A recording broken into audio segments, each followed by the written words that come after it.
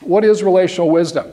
Basically, relational wisdom is living out the two great commandments love the Lord your God with all your heart, mind, strength, and soul, and love your neighbors yourself. Well, both those commandments are 100% relationship. And it's really what the Christian life is about. How do we worship and serve and engage God, and how do we love our brothers as we love ourselves? Um, relational wisdom, I, I, you could think of it as an operating system. I've got my computer up here. It's a PC. I use Windows as an operating system. Some of you probably have uh, Macs, you have OS. Um, every computer has a basic operating system that is the central point for all the other programs word processing, uh, photography, email, everything else has to interface with that operating system. Your relational skills is the basic operating system for your life. It's going to affect your marriage, your parenting, your work relationships, your Christian witness. Everything is affected by your relational skills. And my experience working with Christian ministries, churches in particular, especially, is when there's problems, those problems usually have to do with relationships. Um, I always tell people I've never seen a pastor lose his pulpit for poor Hebrew skills. Now, we might spend a lot of time learning original languages, which I think is important, but I've never heard a group of elders say, you know, our pastor just doesn't have good enough language skills. It's always a relational breakdown, a difference in vision, how we deal with conflict, how we deal with personalities. And so the principles I'm going to share with today are things you can use in your friendships, in your marriages, in parenting, in workplace. All those venues, these same exact skills apply. Um, in particular, just thinking about ministry, where all of you spend most of your time is in some form of ministry. Um, historically, people, when they've hired employees, we typically look at a resume that, uh, that displays people's what we call their technical abilities, sometimes called their hard skills. And these are things you can look at and examine with their what are their degrees, what is their GPA, what certifications, what experience do they have. Things that are really related to their IQ, their intelligence quotient, how hard they work, how intelligent they are, how diligent they are. And in many, many organizations, they think if you've got a really good resume, really good technical expertise, should be very valuable to the organization. But I think if you've been working in the real world for very long, you realize that's not necessarily true. There's another component and that's your relational abilities, uh, which is often called your soft skills. That's what human resources people talk about. You've got both hard skills and soft skills that impact your effectiveness in an organization. There's only one thing wrong with that formula, in my opinion, and it's the operand. It's not a plus sign, it's actually a multiplier. Because if, if, you had, if you were on a scale of 1 to 10, just off the chart hard skills, 10 out of 10, but you were a zero with soft skills, 10 plus zero is 10, but 10 times zero is zero. The, most, um, the person with the most impressive resume I've ever seen, who I hired, turned out to be the worst employee I've ever had. He was a disaster relationally, and I finally had to fire him, even though his hard skills were off the chart because his relational skills were so bad, he was difficult to work with, and he also impacted other people in the organization in such an adverse way. So, as the Bible says, Proverbs 22 11, he who loves purity of heart, whose speech is gracious, will have the king for his friend. If we have good motives, if we're there to serve one another, to help one another, to serve the Lord, to advance the ministry, it's not all about me, but it's about actually serving others, loving God, serving my neighbor and if we are able to communicate in a gracious way, in an effective way, we'll be very valuable to an organization. But if we don't have those qualities, then we can be very uh, harmful actually to an organization. Now, life is all about relationship. Everything we do basically has to do with how we relate to people um, in the workplace, in our marriages, in our families. Um, and the closer we are to people, the more vulnerable we are to being hurt. You think about it, you're rarely hurt or disappointed by a relative stranger, a casual acquaintance, because your expectations are so low. You don't have them. But when a close employee, a longtime friend, a spouse, a child turns on you, it can be devastating, just devastating. And because, because of this, um, relationships can be very challenging. And part of that is just the power of emotions. We are so driven by our emotions, for good or for bad and just illustrate just a little bit of the dynamic of how, relate, how emotions affect a relationship. Here's just a simple little clip to show that. Now, you could spend a lot of time and analyze what's going on there, but I'll just share this one basic principle. There's a lot of people in this world who are fixers, and I'm, I'm a maximum fixer. I'm a lawyer and I'm an engineer. And if, if someone brings me a problem, I want to just move right in and start fixing it. When I'm in my office and people are paying me by the hour, they're very grateful for me to move very quickly and solve that problem. My wife doesn't have that same perspective. When she comes to me with something, what she's really looking for initially is understanding, compassion, empathy. She usually doesn't even need me to tell her what to do. She's very bright. She mainly wants to just have someone to share those, those concerns with, share some of those emotions, have some compassion, and think it through, and then she's all ready to move on. And so, if you're a fixer like me, you have to learn how to sort of slow down and listen and exercise some empathy. If you're a person who sometimes wants to just stir emotions for a while and go on and on and on, I've had people sit in my office and they'd sit there happily all day just sharing all the pain and all the sorrow and all the difficulties. At some point, we have to move them on toward a solution. So we have to be sort of aware how do we respond to our emotions? Uh, do we just stuff them down? Do they rule us? Do they dominate us? If you try to understand emotions, that's a lot of what relational wisdom is about, is understanding the physiology and the theology of emotions. We are emotional creatures by God's design. He's made us with our emotions. Uh, as I work with some churches, I almost get the feeling they think that Satan came up with emotions.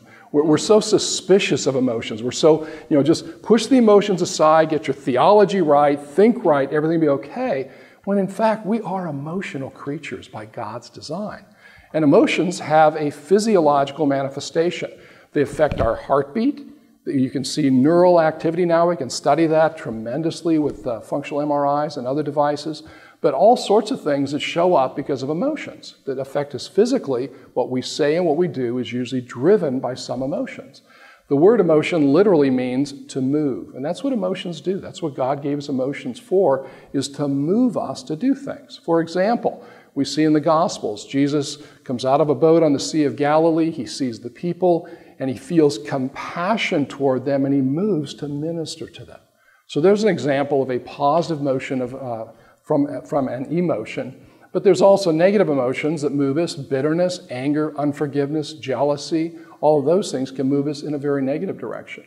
So we have a phenomenon sometimes called amygdala hijacking, where impulses come into our brain, they come to the limbic system first, where the emotions are, and it sets off action real quickly. We're, we're either frightened, we're angry, something like that.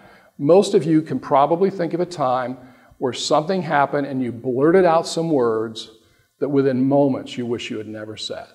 And that's just because the emotional part of your brain kicks in first before the, the rational part of your brain has a chance to think. Literally, when your emotions go up, your reasoning capacity goes down by as much as 15 IQ points when you're highly emotional. And there's a physiological reason for that. I won't go into it, but it actually happens. So, learning how to control our emotions, how to manage our emotion, I've dealt with a lot of employment disputes where somebody, in a moment of anger, just said something to a coworker or to an employer, to a supervisor, and did a lot of damage in a work relationship. So we've got to learn how to guard against these things. So let me give you a real quick overview of a theology, a way to organize things the Bible says about our relationships. And I would submit to you that the Bible teaches that relationships are basically three dimensional. We're in relationship to God, we're in relationship to ourselves, and we're in relationship to other people. Now, some people think, are we really in relationship to ourselves?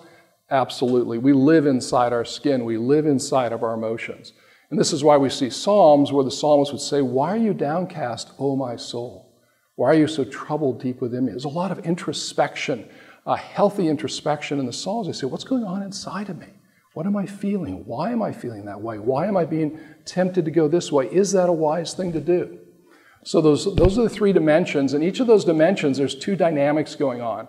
There's an awareness dimension. What do I know about God, who He is, what He's like? What do I know about myself, my strengths, my weaknesses, my interests, my emotions? What do I know about this other person? What is she going through? Why is she feeling that way? How am I impacting her? But then there's also an action component. How do we engage? How do we engage God? How do we respond to Him in faithfulness, obedience, and trust? How do we engage ourselves? How do we discipline, exercise self control? And then how do we engage other people in a constructive way? So these are the six basic skills of relational wisdom God awareness, God engagement, self awareness, self engagement, other awareness, and other engagement. Those are the six skills we need to master.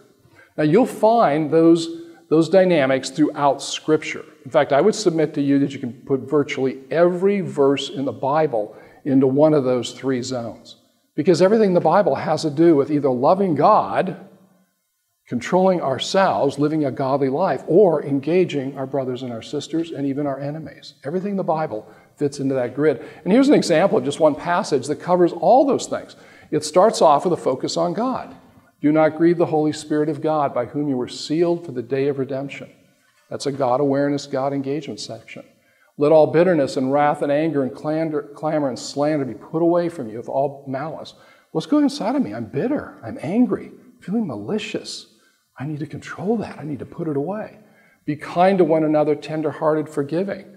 That's seeing another person, the struggles they're having, responding in kindness, tenderheartedness, and then finally it loops back up to God. That's where the 360 comes in our name, is you go a full 360. If you can have healthy relationships, you know how to function in all those zones in a continuous fashion. Um, now, you could, some of you may say, well, I don't see those terms in the Bible, self control or uh, self awareness, God engagement. You're right, those, those are a human construct. But you do see words like remember. Remember the Lord your God. Remember the one who brought you out of Egypt.